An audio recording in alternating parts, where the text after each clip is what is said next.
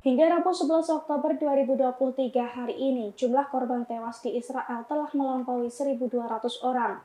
Melihat hal itu, Israel kini meningkatkan serangannya di Gaza sebagai bentuk balas dendamnya terhadap Hamas.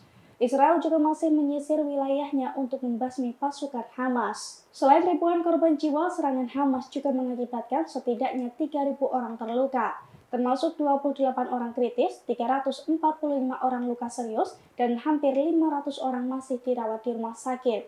Ada pula sebanyak 150 orang yang diculik Hamas sebagai tawanan. Tak terima dengan jumlah korban yang terus meningkat, Israel pun kian membabi buta.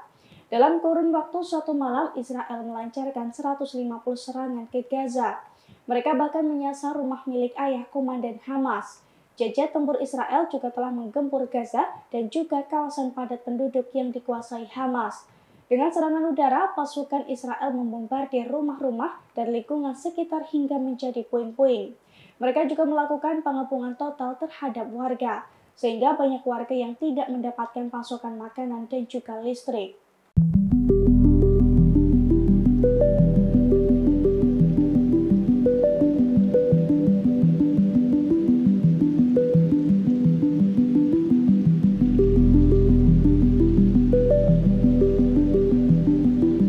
Download Tribun X sekarang.